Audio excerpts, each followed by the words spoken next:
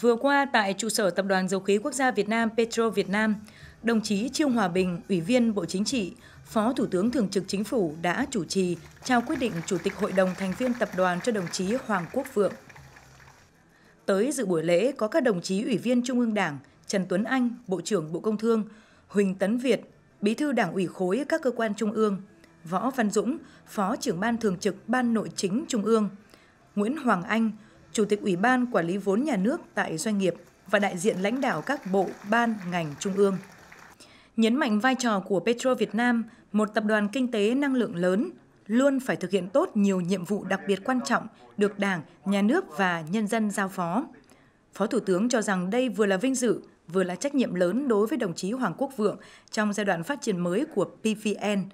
Đồng thời bày tỏ tin tưởng đồng chí Hoàng Quốc Vượng với nhiều năm trực tiếp phụ trách lĩnh vực năng lượng sẽ cùng tập thể lãnh đạo, người lao động dầu khí tiếp tục chèo lái con thuyền Petro Việt Nam tiến về phía trước, vượt khó khăn, thách thức, có nhiều đóng góp hơn nữa cho sự phát triển kinh tế xã hội đất nước.